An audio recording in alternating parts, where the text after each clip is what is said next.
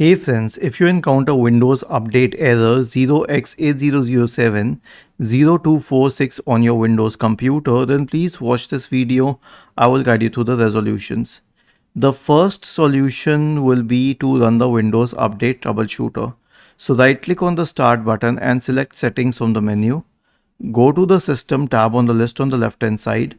In the right pane, select Troubleshoot then select other troubleshooters and click on run corresponding to the Windows Update troubleshooter and this will help in running the troubleshooter. The next solution is to clear the Windows Update cache. So we have a script for it and I'll share it in the description section of the video. All you need to do is copy it, search for command prompt in the Windows search bar, click on run as administrator, click on yes, paste it here and hit enter. The next solution is to install the updates in the clean boot state just in case a third party software product is preventing the installation.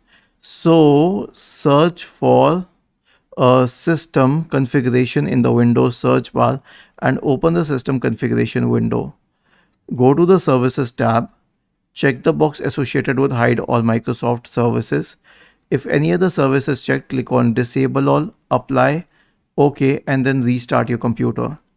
And the last solution is to manually download the update from the Microsoft Update Catalog.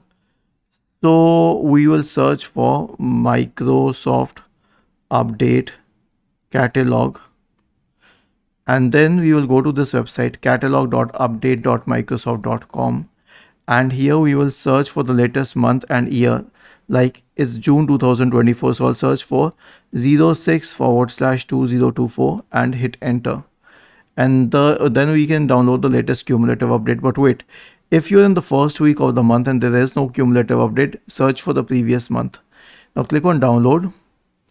And then click on this msu file here. And once it is downloaded click on it once again to install it on your system. Was this helpful? If yes then please subscribe to the channel. And if not then let us know in the comment section of the video on how we could help you further Thank you for watching this video and have a nice day.